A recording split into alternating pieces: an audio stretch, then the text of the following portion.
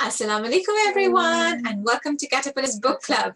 Hope you all are feeling safe and well and excited for today's story. So today we're going to read Bestest chip. The Best Chip and with me I have Talha. and Nabiha. Biha. She's sad because she wants to read the book as well. Yes.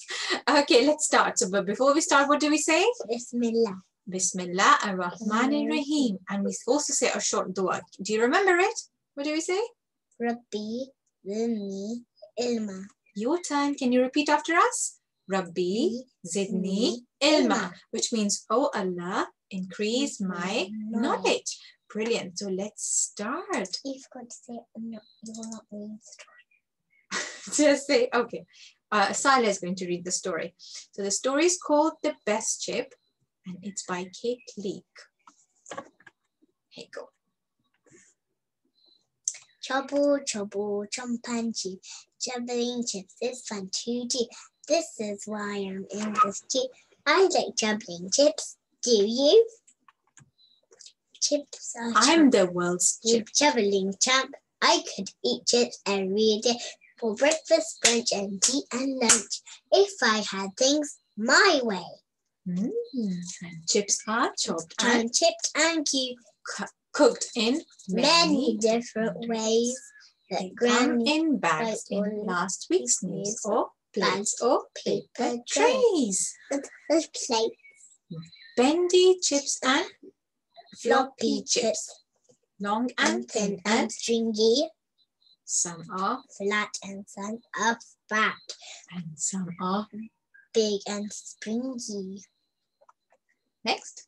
Short and Spicy, spicy chips are crunch as you munch, but crispy, light and cooked just right. Chips, make the perfect lunch.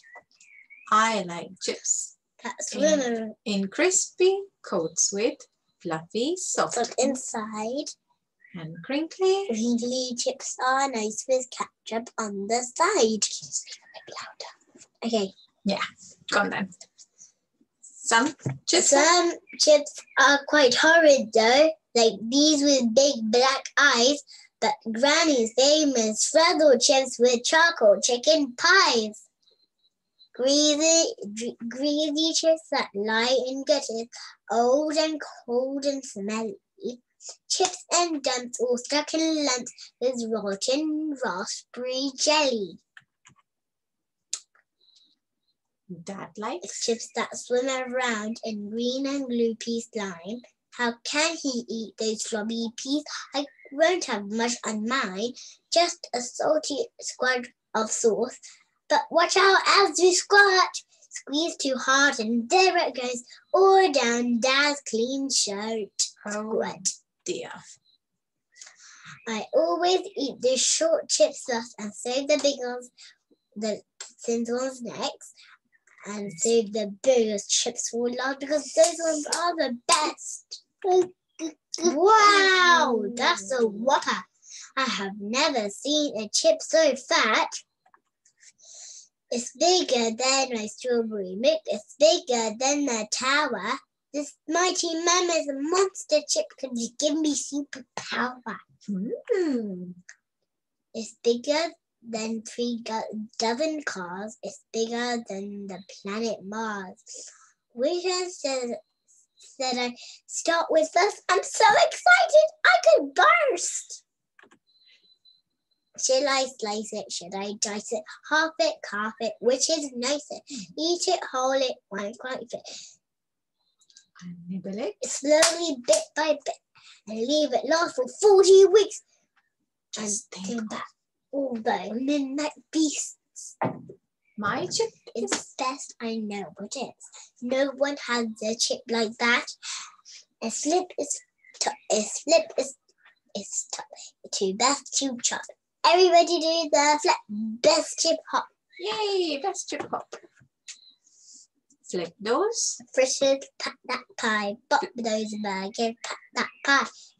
Groove that gravy. Flirt and squirt. More big things on that t-shirt. Do the Jumble sauce up drives. Jump down the Dunkin' Donut dive. What's she doing there? Lick? Lick those lips and chomp those chips. Bounce it on your nose like this. Wobble. Oops. Whoops. I'm gone and dropped my bestest chip. Oh dear. Oh dear. How does she look like? Excited or shocked or sad or upset? She is surprised. Is she surprised? Yeah. Why? Oh no, she wanted to eat that chip, but now it's gone. Let's see what happens next. My bestest. Chip is on the floor. Slimy. Slimy. Best known for. It's hairy, black, and sort of flat. I have never eaten a chip like that. My bestest It was my chip, my perfect chip. chip. A better Than than the the rest best chip. A chip that never touched my tongue. Mm, but Pet. Now I need to decide for long because I like Chamberlain chocolate cake with chocolate chip ice cream it's better. than the rest best chip. And Chubble's like a dream. Yay! That was exciting, wasn't it? So, next time, if you're eating your favorite meal, first don't play with it. Eat it before it goes down onto the floor and you become really upset. Okay. But second of all, the most important lesson that we're learning from this story is don't be sad because Allah always has some better plans for you.